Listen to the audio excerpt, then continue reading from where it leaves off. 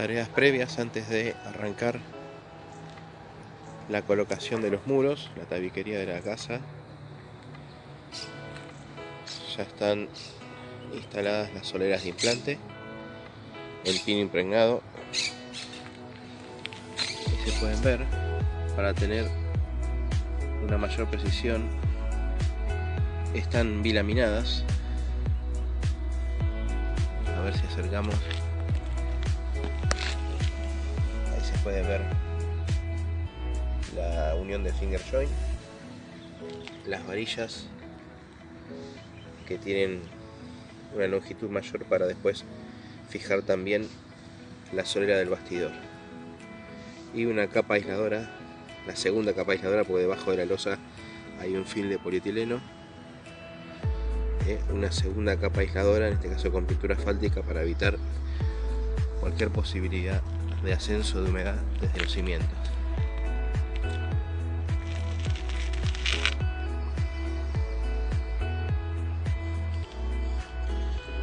Acá se puede ver cómo está hecha, ahí está la unión de finger joint y es una viga bilaminada de 2x6, es decir, son dos tablas de 1x6 encoladas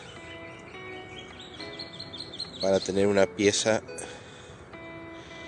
que sea bastante más rectilínea. A veces los impregnados suelen torcer un poco y con esto nos garantizamos una pieza mucho más estable, lo cual hace mucho más sencilla su colocación.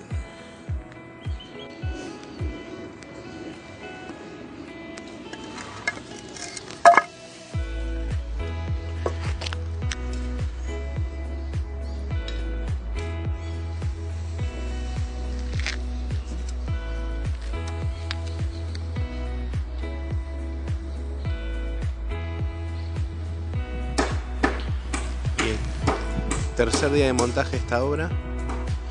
No sé si se llega a ver. Ya. Podemos ver que algunos bastidores tienen un color distinto. En general, antes de colocarlos, aplicamos un producto fungicida e insecticida, básicamente para que tengan una pequeña protección durante el periodo de obra, en tanto que los hongos los manchan y después eh, queda como una mala imagen y lo que hicimos esta vez es al producto químico agregarle una tinta para hacer mucho más fácil distinguir cuál está pintado y cuál no. Entonces que no te quede ninguno, ningún parante, ninguna solera sin pintar. Ya tenemos unos cuantos con aplicación de producto. Reitero simplemente para preservar su estética durante la obra ¿no? y que no dé una mala imagen no es necesario el tratamiento para su posterior uso en funcionamiento en la casa. Vemos en este caso, acá tenemos la platea, que, tiene toda una viga perimetral de hormigón. Aquí como el terreno baja, obviamente asoma más. En el otro extremo de la casa eh, quedó por este motivo menos levantado.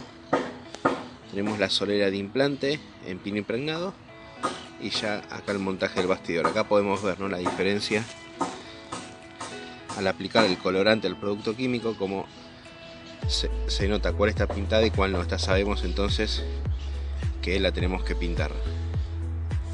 Y la colocación a filo exterior de viga para después cuando vengamos con el resto de las capas nos permita muy fácilmente por solapado, cierto?, tapar esta junta entre el hormigón y la madera a los efectos del ingreso de agua. Es una manera muy sencilla de simplemente con un, con un solape evitar el ingreso de agua en esta junta seca.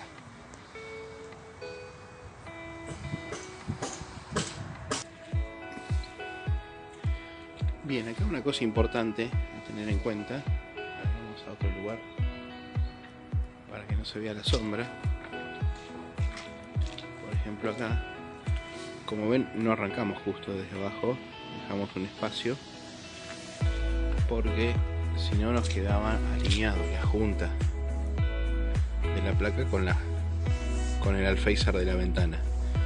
Entonces no es conveniente esta alineación de juntas porque después puede producirse en el interior sobre todo marcas en los revestimientos, se puede haber una pequeña fisura. Entonces lo conveniente es colocar la placa de esta madera para que ni la junta vertical, a ver si está saliendo ahí, ni la junta vertical ni la horizontal coincidan o con el parante o con el alféizar de la ventana. Por eso como vemos, arrancamos la colocación más arriba, ahí va a ir un ajuste.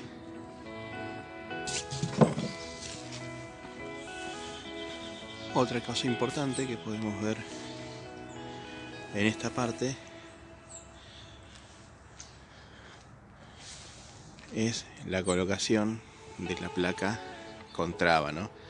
También siempre procurar que las juntas verticales no coinciden entre sí, casi como si estuvieses colocando una mampostería. Y el emplacado siempre es recomendable, si bien los manuales hablan de tanto vertical como horizontal, es más recomendable ponerlos en horizontal siempre cruzando. O sea, la estructura está así y la placa va en el otro sentido.